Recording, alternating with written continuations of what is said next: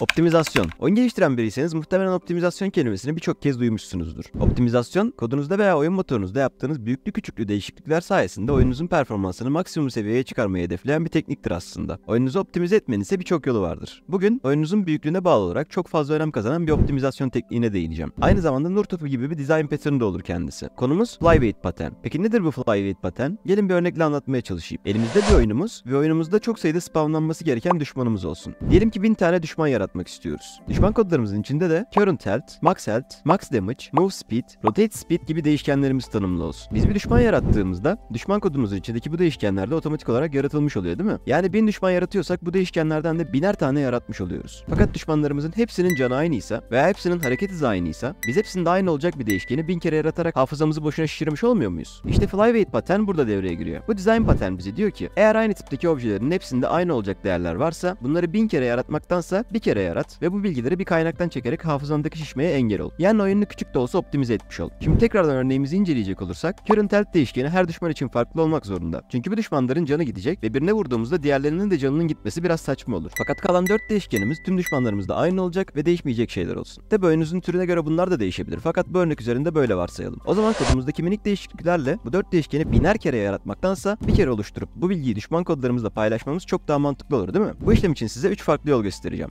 Hepsinin kendilerine göre artıları ve eksileri var tabii ki. İlk yolumuz değişkenlerimizi statik keyword ile statik yapılara çevirmek. Statik yapılar tekil yapılar olduklarından değişkenimizi bin kere oluşturmamıza engel olurlar. Ayrıca hızlı yapılardır. Yani güzel ve anlık sonuçlar verebilirler. Fakat özellikle bir game designer ile çalışıyorsanız statik değişkenleri Unity editörü üzerinden gözlemleyemeyecekleri için designer friendly değillerdir. Yani tek başınıza çalışıyorsanız ideallerdir fakat kesinlikle favori çözüm yöntemi değiller. İkinci yolumuz değişkenlerimizi sabit yapmamızı sağlayan const keyword'ünü eklemek. Bu keyword sayesinde değişkenlerimiz birer kere oluşacak yani statik değişkenler gibi tekil bir yapıya sahipler. Ve const değişkeni kodumuzun arka planında statik değişkenlerden bile daha hızlı çalışacağı için bize rahatlık sağlayacaktır. Basit ve hızlı olan bu yöntemin bazı negatif yönleri de var tabii ki. Mesela benim düşmanım bir can boost alıp max health'ini değiştirmek isterse const buna engel olacak ve bunu oyunun içinde değiştirmeyecek. Yani ben bir değerimi const olarak tanımladığımda bir daha bu değişkeni değiştirmem asla ama asla mümkün olmayacak. Üçüncü ve favori yolumuz ise Unity'nin çok sevilen ve kullanılan data saklayıcıları olan scriptable objeleri kullanmak. Scriptable objects konusunu bilmiyorsanız şu videomu izleyebilirsiniz. Link açıklamada. Scriptable objeler data container olarak geçerler ve datalarımızı saklamamıza olanak sağlarlar. Yani biraz önce bahsettiğimiz değişkenleri bir scriptable obje üzerinden çağırıp düşman kodlarımızda bu scriptable objeyi referans olarak tanıtarak tekrar tekrar kullanmış oluruz. Ayrıca designer friendly oldukları için herhangi bir game designer ile çalışırken işimize çok yararlar. Yani kesinlikle favori yöntemdir ve mutlaka her oyunda uygulanması gerekir. Oyununuzun büyüklüğüne göre optimizasyona olan etkisi değişse de kesinlikle best practice bir yöntemdir ve kodlarınızın çok daha temiz olmasını sağlayacak. Şimdi gelin bu anlattıklarımı uygulamalı bir şekilde daha iyi anlamaya ve flyweight patternin gücünü uygulamada görmeye çalışalım. Şimdi benim elimde gördüğünüz gibi çok basit bir demo sahnesi var aslında. Demo sahnemizde toplarımız var. Toplarımızı düzgün bir şekilde spawn olup düzgün bir şekilde kutumuzun içine akıyorlar. Bu toplarımız şu anda 1000 tane topa kadar gidecek ve kutunun içine 1000 tane top spawn olana kadar devam edecekler. Arada bir toplar aradan kaçıyor ama orası problem değil. Benim burada göstermek istediğim şey aslında şu. Kodlarımıza gelip bakacak olursak kodlarımda benim top klasımda yani spawn olan objemin klasında şöyle birkaç tane değişken görüyorum. Bu değişkenlerim anlık canım, sürtünme miktarım, fırlatılma kuvveti, maksimum canım vesaire vesaire gibi değişkenler. Bu değişkenler şu anda bir işe yaramıyor. Bu değişkenleri de zaten iki tanesini random.range'de rastgele bir değer alacaklar şeklinde yorumladım. Değişkenler dediğim gibi hiçbir işe yaramıyor. Şu an tamamen flyweight patternin nasıl çalıştığını demo olarak göstermek için bunları hazırladım. Yani bunlar şu anda herhangi bir işe yaramıyorlar ve can ve sürtünme miktarı da rastgele bir şekilde geliyor. Benim burada asıl göstermek istediğim şey şu. Ben toplarımı biner kere yaratıyorum ve benim top klasım yani top script'im, bol isimli script'im de bin kere yaratılıyor. Haliyle de buradaki değişkenlerimin altısı da biner kere yaratılmış oluyor. Şimdi ben bunları yarattığımdaki farkımı ve FPS değerimi ve özellikle profiler'daki kullanılan heap değerlerimi vesaire inceleyeceğim. Daha sonra flyweight pattern'i bu demomuza uygulayıp aradaki FPS farkına bakacağız ve aslında aradaki RAM kullanımı farkına bakacağız. Bu kadar basit bir örnekte bile ne kadar aslında flyweight pattern'in işlevli olduğunu ve optimizasyona ne kadar kolay bir şekilde yardımcı olduğunu gözlemlemeye çalışacağız. Tabi bizim demomuzda 1000 tane top yaratılıyor ama sizin oyunlarınızda biner tane aynı objeden yaratılmak zorunda değil. Fakat küçük bir optimizasyon olsa bile optimizasyon optimizasyondur ve kesinlikle best practice bir kod yöntemi olduğu için kullanmanızı kesinlikle öneririm. Şimdi gelin isterseniz toplarımızı bir çalıştıralım. Toplarımız burada akmaya devam ederken profiler'ımızı inceleyelim. Profiler'ımızda da bu arada memory kısmını inceliyoruz. Yani memory'de ne kadar memory kullanılmış, ne kadar hafıza kullanılmış bunu inceliyoruz. Ve asıl incelememiz gereken yer tracked memory ve managed heap olacak. Şurada da FPS değerimi görüntülemek için şurayı açayım ve toplarımızın 1000 tane olmasını bekleyelim.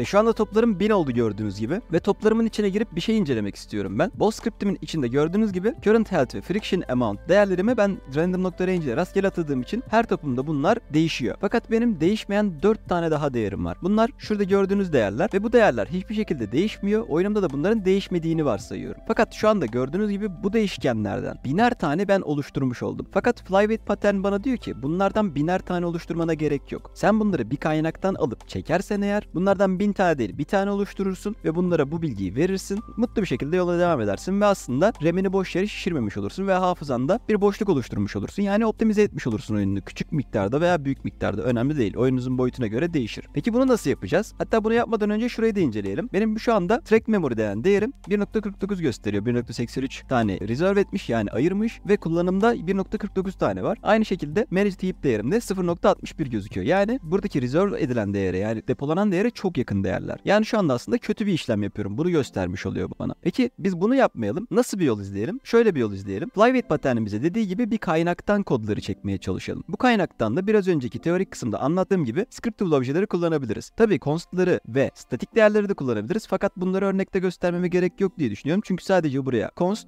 veya statik olarak değerleri yazdığınızda işlem tamamlanmış oluyor. Bunun da çok gösterilecek bir tarafı yok diye düşünüyorum. O yüzden direkt enfor yöntemimize yani scriptable objeleri nasıl kuracağımıza geçmek istiyorum. Scriptable objeleri şöyle kuruyoruz bildiğiniz gibi. Scripts'ime geliyorum bir tane dosya oluşturuyorum ve ismine SO diyorum. Daha sonra yeni bir tane script oluşturuyorum ve bunun ismine ball state SO diyeceğim. Ve buradaki start ve update değişkenlerini, fonksiyonlarını silebilirim. Aynı şekilde kütüphanelerini de silebilirim ve mono behavior'dan çekmek yerine scriptable objelerinden çekeceğim. Daha sonra buraya gelip ben bolumdaki sürekli aynı kalan değerleri, kullanmadığım değerleri buraya almak istiyorum. Yani şu alttaki dörtlümüzü almak istiyorum. Ben bunları buradan kesiyorum ve buraya yapıştırıyorum. Şu anda gördüğünüz gibi hiçbir sıkıntı yok fakat bunlar private değerler olduğu için ben bunlara bol sınıfımdan ulaşamayacağım. Bu yüzden benim şöyle bir işlem yapmam gerekiyor. Bunları bol sınıfından ulaşılabilir hale getirmem gerekiyor. Fakat burada dikkat etmem gereken bir şey var. Bunları hiçbir şekilde bol sınıfından setleyememem lazım. Setleyebilirsem çünkü bu değerleri değiştirebilmiş olurum ve aslında yine flyweight paternine ihanet etmiş olurum. O yüzden ben bunları sadece bilgilerini çekmek istiyorum ve değiştirememek istiyorum. Bunu da nasıl yapıyoruz? Property olarak yapabiliriz. Property olarak yapmak için de şöyle bir işlem yapıyorum. Buraya parantezlerle get private set adında property yapıyorum bunları ve daha sonra gelip değişkenime public yapıyorum. Aynı şekilde tüm bu işlemleri tüm değişkenlerimize verelim.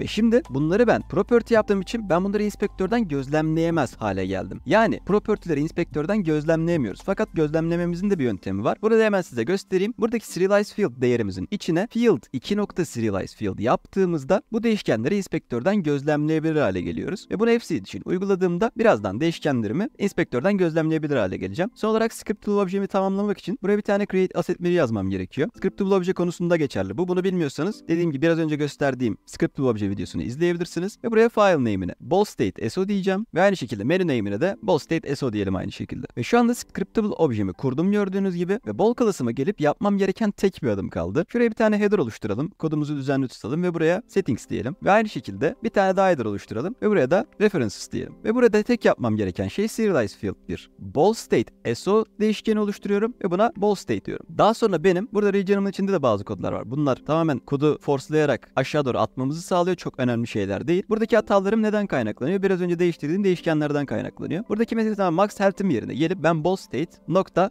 max health yapabilirim. Bu arada şöyle de bir hata fark ettim. Aslında hata denemez ama bir kodlama pratiği diyelim. Ben bu değişkenlerin public yaptığım için genellikle public yapılan değişkenler büyük harfle başlıyor. Bu C Sharp'ın kuralı gibi bir şey. O yüzden hemen bunu da düzeltelim. Ve ball class'ımıza geri dönelim. Burada zaten F2 ile yaptığım için burası düzeldi. Ball state nokta max friction diyorum ve burada son olarak force magnitude'umu değiştirmem kaldı. Buna da aynı şekilde ball state nokta force magnitude diyerek bunu da düzeltmiş oldum. Ve aslında bu kadarcık kodla ben tamamen kodumun yapısını değiştirmiş oldum ve artık buradaki 4 değişkenimi ben bir kere oluşturup buradaki değişkenlere dağıtıyorum. Tüm top objelerimi, tüm ball scriptlerime dağıtıyorum ve boş yere bunları biner kere yaratmaktansa birer kere yaratmış oluyorum. Ve burada property yaptığımız için de inspektörden bunları gözlemleyebilir hale geleceğiz. Hemen Unity'ye geri dönelim ve adsesimin içine yeni bir tane dosya oluşturuyorum ve buna scriptable objects diyorum. Daha sonra buraya yeni bir ball state SO oluşturalım ve buna ball state diyelim. Buradaki değerleri tamamen rastgele girdiğim için çok önemli değiller ama şimdilik bunu dolduralım. Buna 5 diyelim. Ta sadece force magnitude önemli burada. Max health'imize 100 diyelim. Bounce amount'umuza 3 bunu da 10 diyelim. Şu anda dediğim gibi bunun dışındaki hiçbir önemli değil. Tamamen gösterme için varlar. Ve son olarak ball script'ime gelip benim buradaki ball state'imi atamam lazım. Geliyorum buradaki zaten tek scriptable objem olan ball state'imi atıyorum ve şimdi de deneyelim bakalım. Aralarında ne gibi farklar var bunu gözlemlemeye çalışalım. Oyunumu başlattım. Profiler'ımı açtım ve bunun da 1000 olmasını bekliyorum karşılaştırmak için. Ve burada 1000 tane topum tamamlandı ve gördüğünüz gibi buradaki değerlerime bakacak olursam şu anda track memory'm aslında biraz daha düşmüş oldu ve aynı şekilde managed heap'imin de değeri biraz daha düşmüş oldu. Yani oyunumuzu bir nebze daha olsa optimize etmiş olduk. Tabi bu örneğimizde kodlarımızın içi bomboş, herhangi bir işe yaramıyorlar ve düz sphere'ler kullanıyoruz top yerine. Bu yüzden örneğimizde 1000 tane obje bile olsa çok büyük bir fark olmuyor. Genel olarak aslında oyununuz küçük bir oyunsa Flyweight pattern'in size aşırı aşırı bir optimizasyon verdiğini söyleyemem. Fakat gördüğünüz gibi yine de çok küçük bir işlemle verilerimizi bir kaynaktan çekerek çok daha rahat bir nebze de olsa daha optimize bir işlem yapmış olduk ve en önemlisi kodumuzu daha temiz yazmış olduk ve best practice yöntemlere uymuş olduk. Yani Flyweight pattern aslında temel olarak bu işe yarıyor. Bizim çok fazla gereksiz yere spawn ettiğimiz bazı değişkenleri başka bir kaynaktan çekerek bu gereksiz spawn etme işlemini önlüyor ve aslında RAM'imizi bir nebze rahatlatmış oluyor, hafızamızı bir nebze rahatlatmış oluyor ve oyunumuzu bir tık da olsa daha optimize yapmış oluyor, daha optimize hale getirmiş oluyor ve benim anlatacaklarım bu videoluk bu kadardı. Umarım Flyweight Pattern'ın kullanımını anlamışsınızdır ve oyununuza implemente etmeye çalışırsınız. Gerçekten özellikle büyük oyunlarda çok güçlü bir pattern haline gelebiliyor ve kodlamanızı çok daha temiz yazmanızı sağlayabiliyor. Videoyu beğendiyseniz beğeni tuşuna basmayı ve Discord sunucumuza katılmayı unutmayın. Sonraki videolarda görüşmek üzere. Şimdilik hoşçakalın.